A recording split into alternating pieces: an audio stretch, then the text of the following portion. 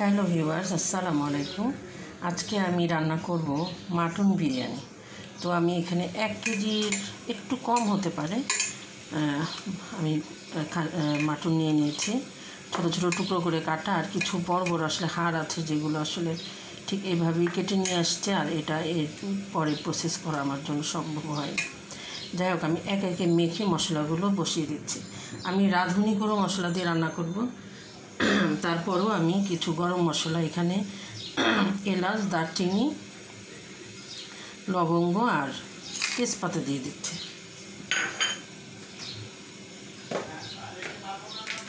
দিয়ে দিচ্ছি পেঁয়াজ।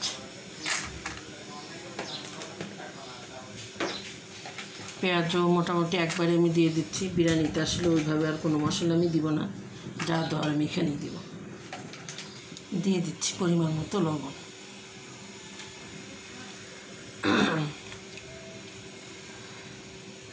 আদা বাটা দিচ্ছি আমি এখানে, আদা এবং রসুন বাটা। আমি দুই টেবিল চামচ, ভরে ভরে দুই টেবিল চামচ দিচ্ছি। আসলে আদা আর রসুন বাটার মিক্সড এটা। দিয়ে দিচ্ছি সামান্য একটু মরিচের গুঁড়ো। আমরা মরিচের গুঁড়ো আসলে এভাবে খাই না। তারপরে আজকে একটু দিতে ইচ্ছা করল, তাই আমি দিচ্ছি। হয়তো বা একটু হালকা কালার আসবে। দিয়ে দিলাম জিরা। আর আমার ধনে গুঁড়োটা শেষ হয়ে গেছে, এই জন্য আজকে আমি ধনে গুঁড়োটা দিতে পারলাম না বাট আমি ধনে গুঁড়ো রেগুলার ইউজ করি। আর দিয়ে দিচ্ছি পর্যাপ্ত পরিমাণের তেল। এখানে একবার একটু বেশি করে তেল দিয়ে দিব, যাতে বিরিয়ানিতে আমার খুব সামান্য তেলে হয়ে যায়। আমি এবার খুব সুন্দর করে মাখিয়ে নেব। আমি আলু অ্যাড করব। মাটন বিরিয়ানিতে আমি আলুটা খুবই পছন্দ করি। আমি নিজে পছন্দ করি, আমার বাচ্চারাও খুব পছন্দ করে।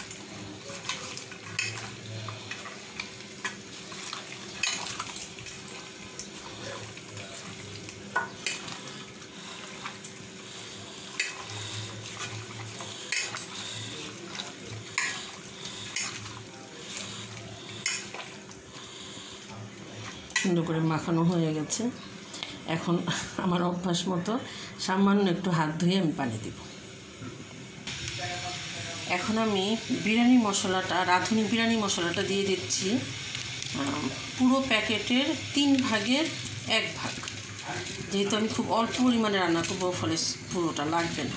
আচ্ছা এখানে আমি আর অন্য কোনো এক্সট্রা মশলা আমি ইউজ করছি না।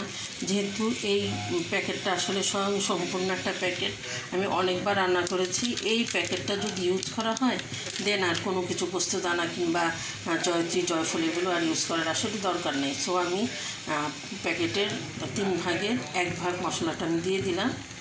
তো এটা মাঝারি আছে, জাল হবে তিরিশ মিনিট। মাংসটা আস্তে আস্তে সেদ্ধ হচ্ছে।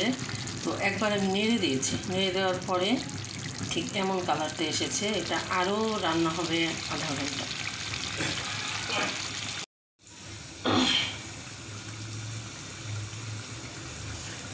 মাটনটা আমি আর একবার নেড়ে দিয়েছি।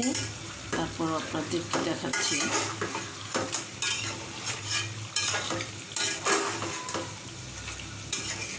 খুব অল্প পরিমাণের পোলার চাল দিয়ে রান্না করব।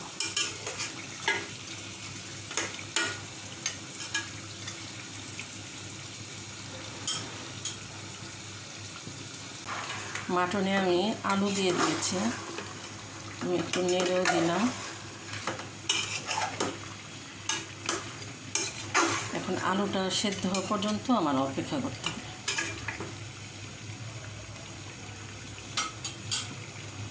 ঢেকে দিচ্ছি দশ থেকে পনেরো মিনিটের জন্য। এখন দিয়ে দিচ্ছি ঘন করে গুলে নেওয়া গুঁড়ো দুধ।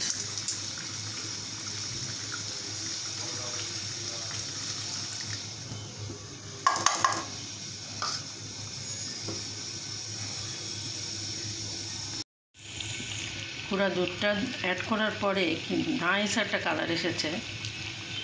খুবই ভালো লাগছে দেখতে। আমি একটা প্যানে অল্প সয়াবিন তেল আর সরিষার তেল মিলিয়ে বসিয়ে দিয়েছি আর একটু সামান্য পরিমাণের পেঁয়াজ দিয়ে দিয়েছি। তো আমি পোলাওটা রেডি করে দেন আমি মাংসটা ঢেলে দিব। এখানে আসলে তেমন একটা মশলা আমি অ্যাড করব না কারণ আমার যা যা দেওয়ার সেটা আমি মাটনে দিয়ে দিয়েছি অলরেডি এটা খুব, একটু হালকা ব্রাউন হয়ে গেছে, তো এখন আমি চালটা দিয়ে দিচ্ছি। আমি খুব সুন্দর করে চালটা একটু ভেজে নিব।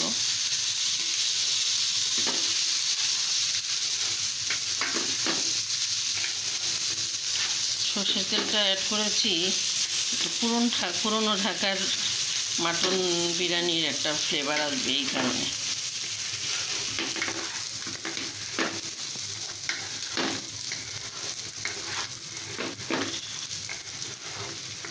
মোটামুটিভাবে সুন্দর করে ভাজা হলে। দেন আমি মাটনটা অ্যাড করব। আমি বেশ কিছু কাঁচামরিচ দিয়ে দিচ্ছি। কাঁচামরিচটা খুব সুন্দর একটা সুগন্ধ ছড়াবে।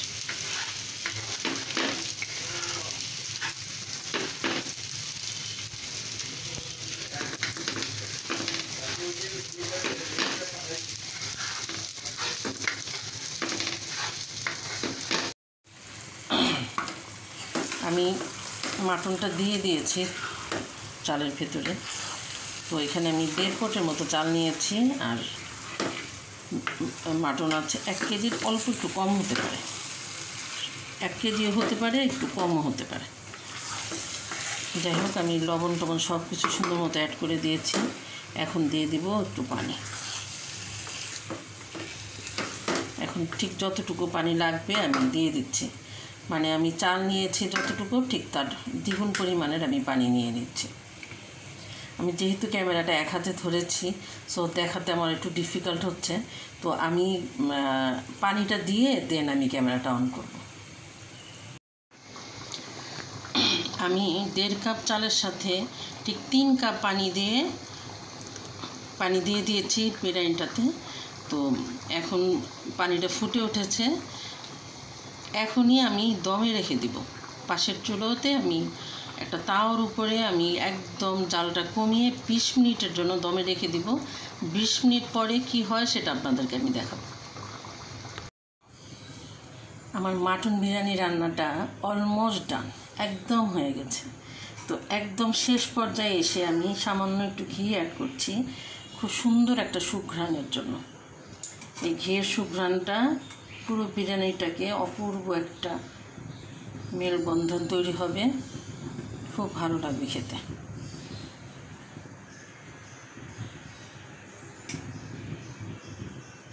তো বন্ধুরা, হয়ে গেল আমার মাটন বিরিয়ানি। খুবই সিম্পল ওয়েতে অল্প কিছু উপাদান দিয়ে আমি তৈরি করেছি। আশা রাখছি আমার এই রান্নাটা আপনাদের কাছে ভালো লাগবে। আর যদি ভালো লাগে একটা লাইক দিবেন এবং আমার চ্যানেলটাকে কাইন্ডলি সাবস্ক্রাইব করবেন। তো আজকের মতো বিদায় নিচ্ছি। আল্লাহ হাফেজ।